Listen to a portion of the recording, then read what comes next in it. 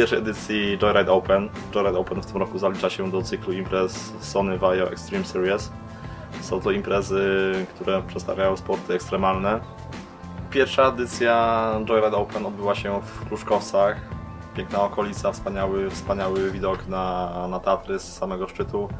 Pod nami Zalew Czorczyński, który tutaj właśnie, właśnie widać. Po obejrzeniu Helmetkama w internecie wiele osób mogło uważać, że trasa jest bardzo łatwa i płaska. Jak się później okazało, wcale nie było tak, tak hop ponieważ trasa jest dość stroma, a jeszcze po opadach deszczu, które, które były z soboty na, na niedzielę, wyszło duże, duże błoto, więc zrobiło się bardzo ślisko, wyszły spod ściuki korzenie, więc zrobiło się zdecydowanie, zdecydowanie trudniej, przez co też e, mogli się tam dużo lepiej wykazać zawodnicy którzy dysponują dobrą, dobrą techniką i było widać te różnice faktycznie na trasie, jeżeli stało się z boku, było widać kto, kto faktycznie do, dobrze jeździ po mokrym, a kto, kto jest troszeczkę słabszy jeszcze.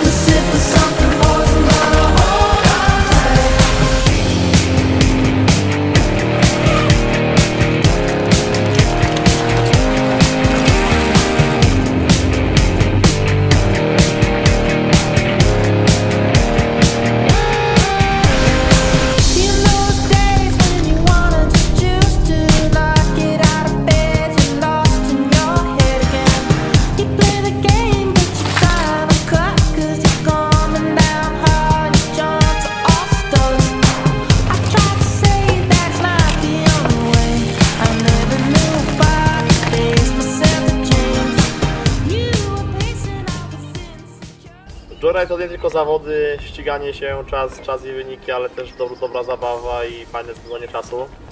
Tym razem z racji tego, że robiliśmy zawody nad Zalewem Czortyńskim, wzięliśmy sobie łódeczkę, a dokładnie, dokładnie rzecz biorąc statek i statkiem sobie przepłynęliśmy na kolację z Kruszkowiec do, do Niedzicy, do restauracji Hajduk.